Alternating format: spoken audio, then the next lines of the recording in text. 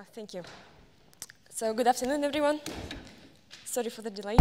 Um, I'm very glad to tell you today about our joint work with seven other great co-authors coming from different institutions and companies displayed here on the slide. So Joppe, Craig, Leo, Ilya, Michael, Ananth, and Douglas. And among them, the folks from Google, which are Ananth and Ilya, are present here at the conference, so feel free to ask them questions. My name is Valeria, I'm a PhD student at Stanford, and in this talk I'm going to tell you how can we build um, a quantum secure key exchange for TLS. So we will focus here on protecting currently deployed and widely used cryptography against quantum computers. So let's look at the main crypto primitives that are used in TLS. So this is public key cryptography, uh, key agreement and signatures, and for that we use RSA, Diffie-Hellman, and elliptic curve-based analogs. Then symmetric key cryptography like AES-128, and hash functions like SHA-256, SHA-3. Um, unfortunately, quantum computers can break currently used public key crypto, meaning they're efficient quantum algorithms that can break RSA, Diffie-Hellman, and the family.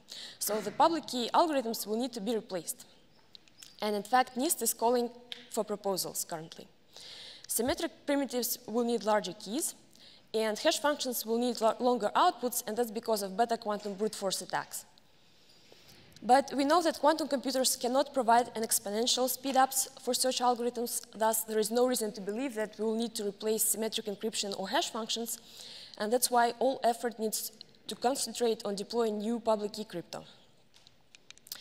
So let's see how these primitives are used in TLS. So let me quickly go over the protocol.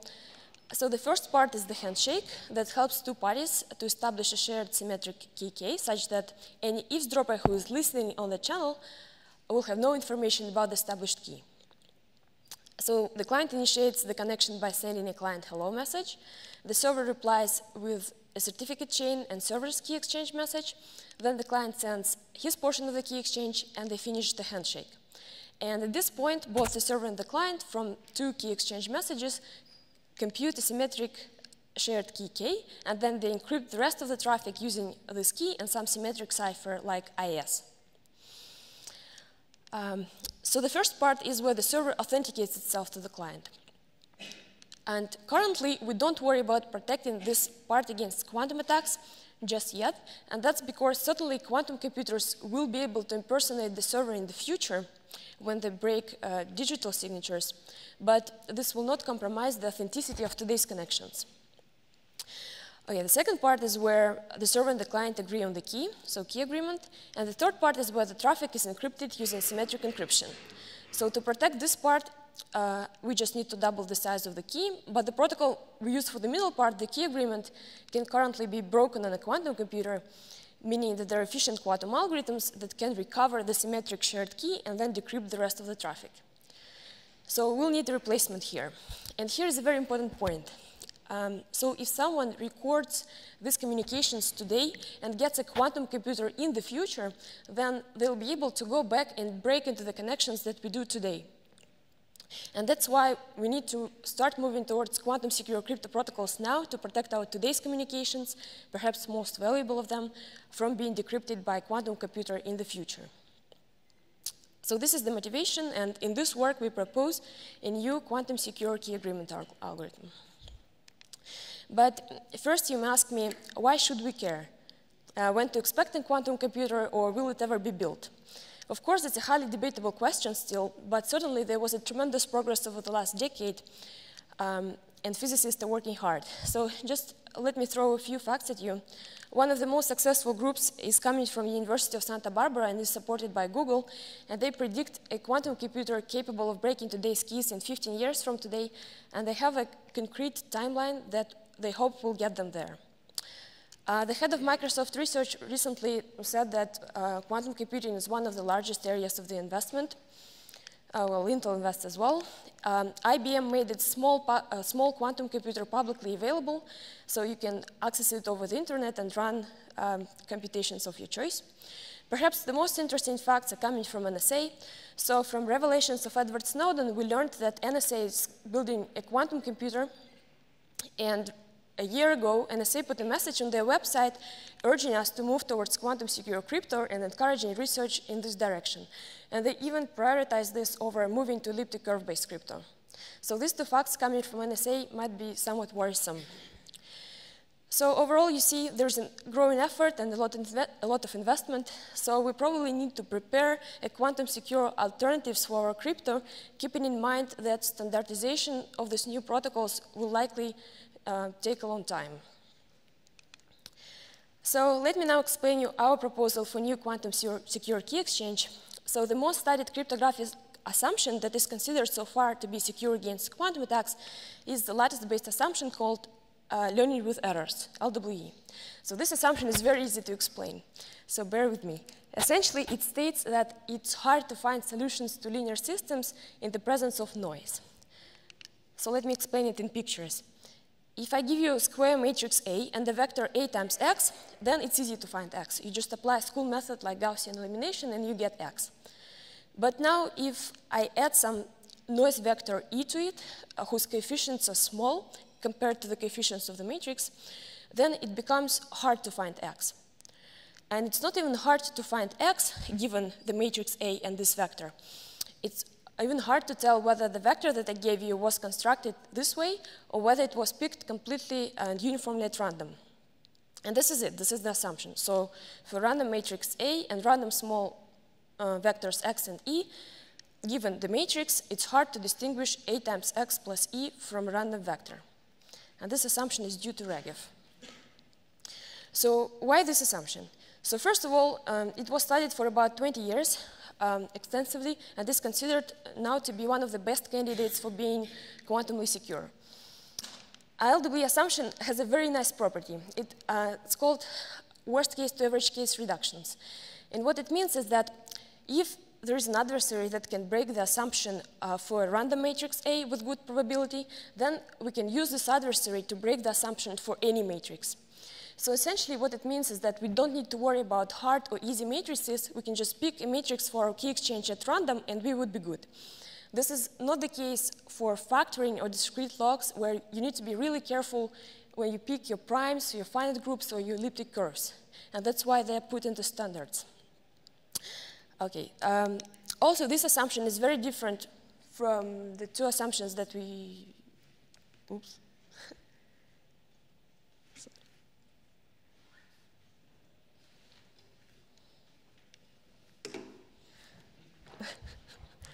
Uh, yeah, seems so. Maybe let me.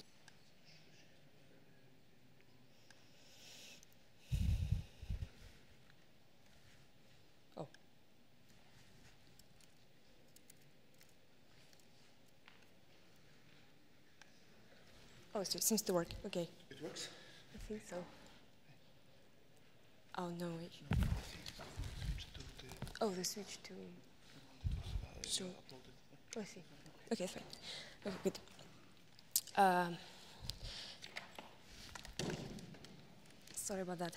So, the third point I want to make about this assumption is that it's very different from the two assumptions that we use today, which are hardness of factoring and hardness of finding discrete logarithms. So potentially this assumption could be like a third leg for crypto to stand on. And additionally, although we don't talk about it in the paper, but you may have heard that lattice-based assumptions give, um, this assumption gives a very rich set of other crypto primitives like fully homomorphic encryption, attribute-based encryption, and even obfuscation. Um, so there is a related assumption called ring LWE. It is uh, it recently got a lot of attention, so I want to say a few words about it. Essentially, um, it's the same type of assumption as general LWE.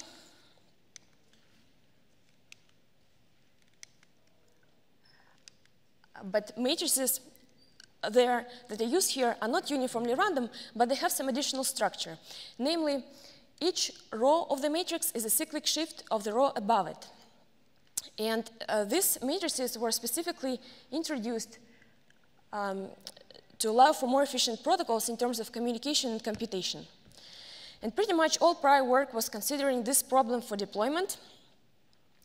Um, but in this work, we show that the original LWE problem is suitable for deployment and is comparable. So just to name a few prior works, Lindner and Peikert uh, gave first constructions for lattice-based key exchange. Then Ding et al. gave a blueprint of the key agreement. Peikert later improved it. Then BCNS paper implemented the protocol. They've chosen concrete parameters and they integrated the protocol into OpenSSL. Then New Hope paper improved the implementation. And recently Google uh, introduced the New Hope cipher suits into the test version of Chrome, Chrome Canary. So again, the ring LWE problem use matrices with additional structure. In contrast, LWE matrices have no additional structure. And uh, they're chosen uniformly at random. Although currently there is no reason to believe that ring LWE can be broken in a quantum computer, essentially the same algorithms uh, for ring LWE, uh, the best algorithms for ring LWE are essentially the same as for the general problem. Um, but recently, a security gap was discovered between structured and unstructured lattices used here. In particular, one problem called ideal SVP turned out to be easy um, in structured lattices, specifically because of their original, uh, specifically because of, of, this additional structure. Although this result doesn't break the key agreement protocols, uh, it calls into question the exact security of assumptions over um, structured lattices.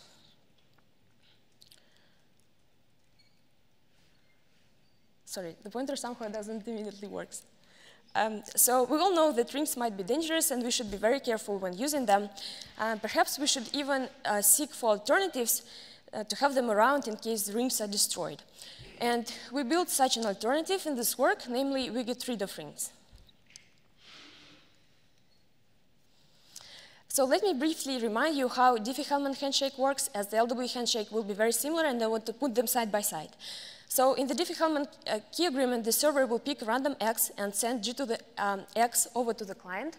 Then the client will choose a random y and send g to the y back to the server. And then they both will compute g to the xy and use this as for their shared key.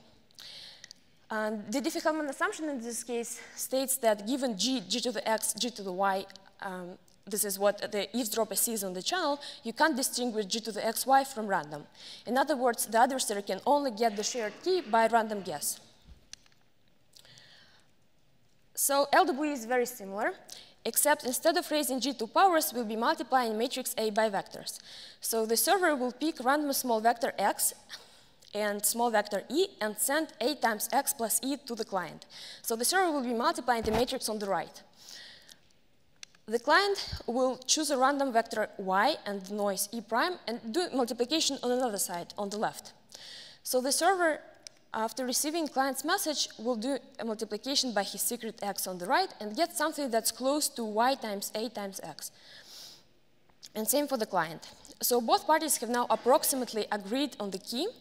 They can sort of discard the less significant bits where the, no the noise is and take the most significant bits and take this um, as their shared key. But since we're working modulo Q, we will do something a little more sophisticated here than just taking the most significant bits. Namely, we'll use a reconciliation algorithm first introduced by Peikert and generalized in this work.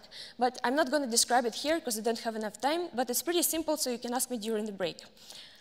Um, so the LWE assumption in this case will have the following form. So given the matrix A and two messages of the handshake, we can only get a shared key by random guess and no better than that. And this assumption is reducible to LWE, and certainly you can find the security proof in the paper. So this is the handshake that you've just seen. I just want to reemphasize a few important points here. So in practice, instead of fixing a matrix A in a NIST standard or elsewhere and having the same matrix for all or multiple key exchanges, we propose generating a fresh matrix A for every key exchange. And this will defend us against precomputation attacks and also will make sure, will ensure that the matrix is not backdoored. So since the matrix is rather big, instead of sending it over the network, we propose generating from a seed using pseudorandom generator. So the server will send the seed to the client first place, and then they both will um, derive the matrix from the seed. So for security, we will rely, rely on the hardness of LWE and the security of PRG. The secrets uh, and the noise will be coming from distribution that will be a parameter in our system, and it will be an approximation to a discrete Gaussian. And XY secrets will not be single vectors, they rather will be multiple vectors concatenated in a matrix. So you may think of applying LWE problems multiple times here. And this is done to have enough material at the end uh, so that the parties could derive a shared key that is long enough, like 256 bits. So the most important question when designing real-world crypto system, especially its truthful lattices, is how do we choose parameters? So our key agreement is parameterized by four numbers. Uh, the modulus, it is the power of 2, and all operations are done modulo q. Uh, the dimension n, so our matrix A is n by n, square matrix. The noise deviation, our distributions are approximations to Gaussians, and the number of extracted bits. And uh, the more bits we extract, um, we take as the most significant bits, the higher is the probability for the parties to arrive at different keys. So this number defines the failure probability for the protocol. So for a protocol, it will be not zero, non-zero, uh, but it can be made as small as you wish. So we searched this parameter space um, in order to minimize the bandwidth and to satisfy the following two conditions. So first of all, available classical and quantum attacks should be run in time that's more than 2 to the 128 um, to account for the state-of-the-art in cryptanalysis. And the probability of failure due to the surrounding should be small, smaller than 2 to the uh, minus 32, which we picked as a conservative enough bound, I hope. So here are the parameters that we arrived at. So the left set of parameters are the parameters we recommend if the described system is going to be deployed in the real world. It gives 130 bits of security against non-quantum attacks. Paranoid set of parameters reaches the complexity lower bound for sieving algorithms, meaning that any sieving algorithm on this parameter set will take time at least 2 to the 138. So you may see that the modulus here is 2 to the 15, which conveniently fits into the 2 bytes integer. The number of bits that we extract is 4 out of 15, and the communication both ways for recommended is 23 kilobytes, and for paranoid it's 26. So a few more words I want to say about the noise distributions. How exactly do we approximate Gaussians? Um, so Bai et al. showed how to substitute a Gaussian with another distribution in the lattice-based proofs using Rényi divergence as a measure of security loss. Then New Hope paper used it to substitute Gaussian for binomial, which is a lot more efficient and easier to sample from. And in our work through search scripts, we found optimal distributions that minimize the Rényi divergence, enhance the security loss, and require fewer random bits to draw a sample. And we represent these distributions with lookup tables. So here is an example. This is a recommended distribution for the recommended parameter set, approximating a Gaussian. It needs only 12 random bits to draw a sample and needs to look through the table of just 14 bytes. So we wrote a constant time implementation for a handshake in pure C. The implementation is based on the OQS project that Douglas, one of the authors, is working on. The OQS project aggregates the existing quantum resistant implementations, enables their comparisons and mm, prototyping. We benchmarked our protocol against RSA, ECDHE, and all available implementations for quantum resistant protocols. We integrated the protocol into the OpenSSL, where we edit new cipher suits, such as the ones that do pure LWE handshake and the ones that combine LWE handshake with Diffie-Hellman, and I'll explain why this makes sense in just a second. But before that, let's uh, look at the standalone performance for our protocol. So it is highlighted in red. So again, we compare it against RSA ECDHE, which are the most widely used algorithms for handshakes on the internet today. And then we compare against state-of-the-art and lattice-based implementations, which are New Hope and NTRU. Um, and against two other alternatives that are available, isogenies, SIDH, uh, which is a quantum secure alternative to Diffie-Hellman, and McEliece, which is a code-based uh, key exchange. So you see that SIDH is too slow to be competitive, and McEliece generates too much traffic, um, and you may notice somewhat different security levels. So let's concentrate on what's important. Since ECDHE is taking lead today, we compare ourselves primarily against it. So you may see that our Frodo protocol is two times slower and takes uh, five, uh, about, yeah, a lot more traffic than ECDHE. Um, so while you're staring at this table, I want to emphasize here that the purpose of this work was not to build a faster key agreement, but to build a more secure one. And I want to remind you that both New Hope and NTRU crypto systems are using, are using structured lattices that might be weaker. In contrast, the Frodo protocol builds upon a well-established problem over general lattices. So um, we also find it instructive to show these numbers just to complete the picture, but also this work demonstrates quite surprisingly that the key agreement from general problem, from general LWE is very competitive. And you see that it takes milliseconds and the traffic is just tens of kilobytes. Um, it's important to recognize that for the next few years of deployment of new Cypher suits, they are likely going to be used in hybrid modes. So we should suggests uh, using both post-quantum key agreement protocol in conjunction with the traditional key agreement protocol like ECDHE. So we can, for example, pair up ECDHE and New Hope, as was done by Google in their experiment, or we can pair up Frodo and ECDHE. So then, in order to break the protocol, the adversary will need to break both problems separately. So in other words, you may think of uh, using post-quantum part to prevent future quantum attacks and using traditional part traditional part to prevent uh, classical attacks against post-quantum. Um, and of course, for hybrid cipher suits, the difference between lattice-based protocols becomes uh, less pronounced. So perhaps standalone numbers do not reflect the actual cost of switching the cipher suits, as there are many other things that usually crop in in real world. So what number really matters is how many more servers will you need to buy in order to serve traffic with these new protocols. And in order to understand that, we need to look at the throughput. This is the number of connections per second. So we ran an experimental server that under heavy load measured throughput with different protocol, protocols varying the size of the served payload data from 1 byte to 100 kilobytes. And you can see the results here. So we compare three lattice cipher suits, New Hope, NTRU, and Frodo, all in hybrid modes, so combined with ECDHE, and uh, ECDHE itself. So you can see when serving very small pages, the difference between Frodo and New Hope is about 1.5, and not surprisingly, this number drops when we increase the size of the payload. So it's already 1.2 for 100 kilobyte payloads. And same for ECDHE, so uh, drops from 1.6 to 1.4. So I'm ready to wrap up. To summarize, we've built a key agreement protocol for general lattices. We implemented it, integrated it into the OpenSSL. We extensively benchmarked it, and you can find many more numbers in the paper. We've generalized Peikert's rounding approach, so we can now extract more bits for the key, thus saving the traffic. We've developed new methods for noise sampling, that will likely be useful in other lattice-based implementations.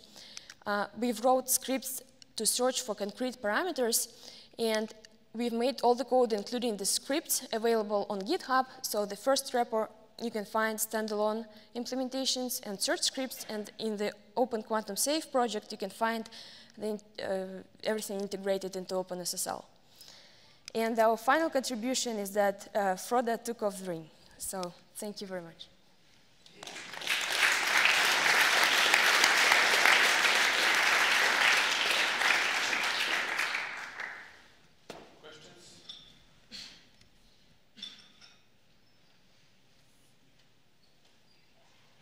Hugo Krawczyk. Um, this is great work. So, um, one comment is that uh, if we are going to use these uh, uh, techniques now, uh, it should be used only for information that should be uh, st stay secret for 20 years, right. because otherwise there's no reason to do this. Right.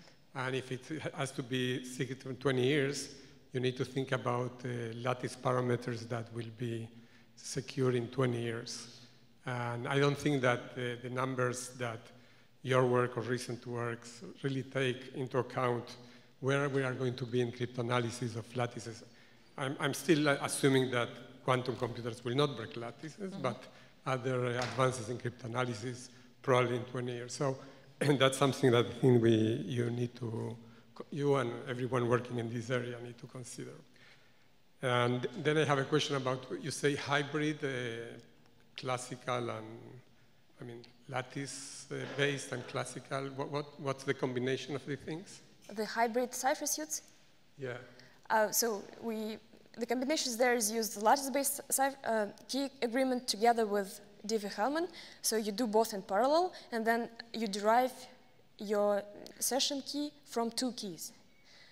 Right, so to recover the session key, you'll need to break into both problems separately. So you'll need to break Diffie-Hellman separately and lattice-based key so that, that, that's not TLS. I mean, once you do that, that's, that's not TLS. I mean, it's a different protocol. No, it's still TLS. I mean, um, but TLS doesn't let you do that. You don't do this sequentially. You just combine, you know, in your server key exchange message and in your client key exchange message, you just combine the two. So it doesn't introduce any more rounds, so it doesn't change the structure of the protocol. Yeah, I mean, it's a different TLS, but. Uh,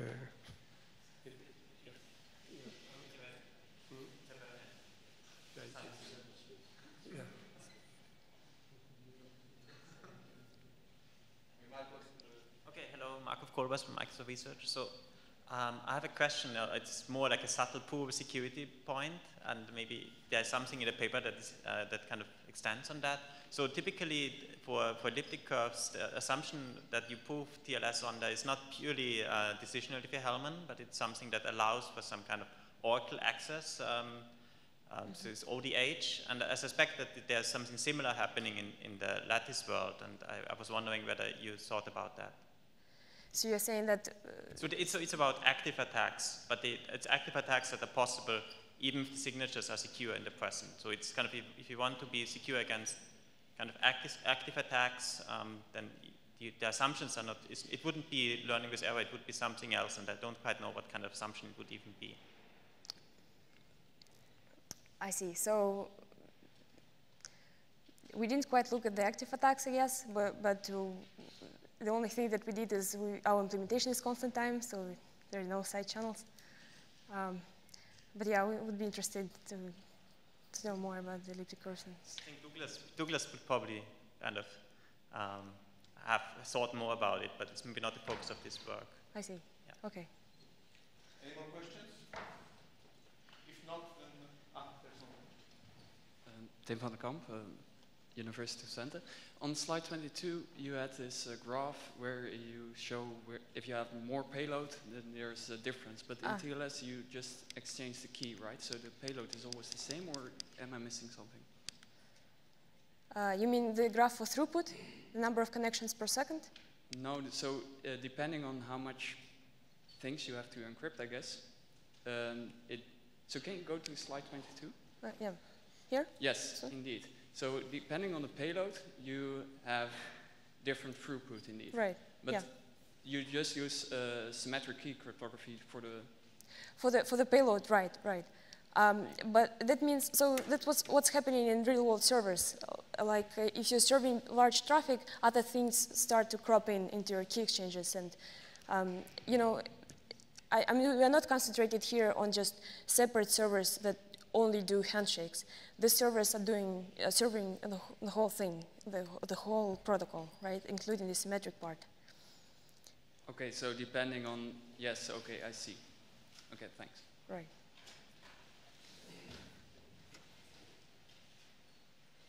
Okay, let's thank